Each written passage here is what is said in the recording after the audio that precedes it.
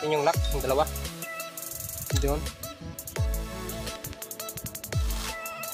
So tanggalin natin to mga guys, yung lock dyan. Dalawa yan. Tapos dito.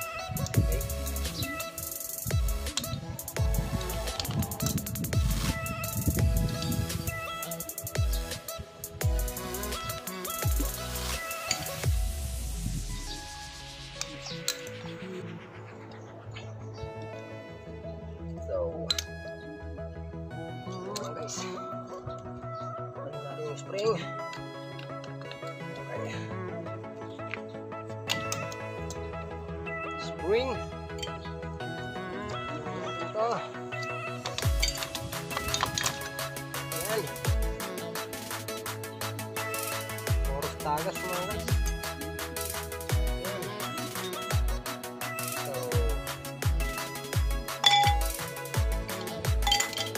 tanggalin to.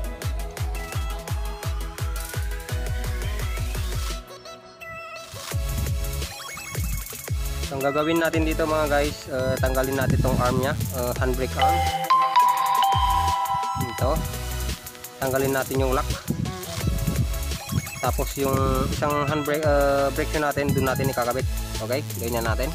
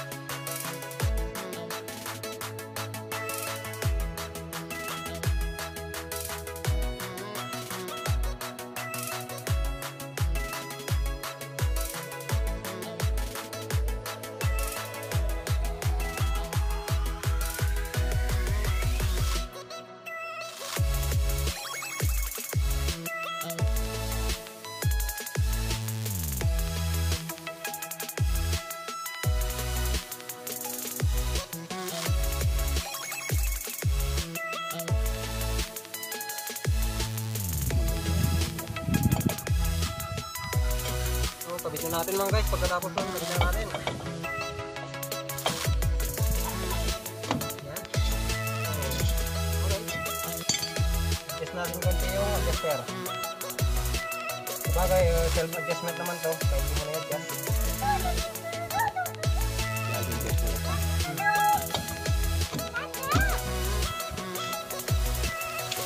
Iban, no.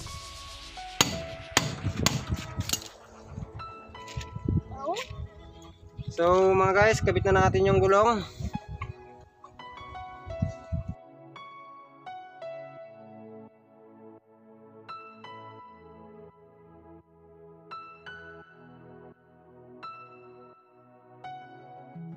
So yan mga guys, pag napalapat na natin, ito lang natin kundi para lumapat ng maayos. Baka pag binaba natin ay pag maluwag at binaba natin ay hindi maganda paglapat ng rim sa may hub may brake drum. Uh, noon natatanggal ang ating gulong. Binulupag nito yung ating kasi hindi maganda ang lapat yan guys. Baba na natin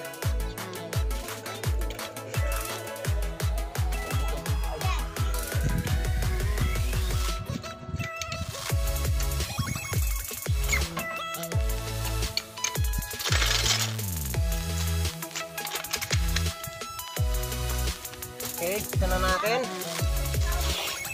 Okay.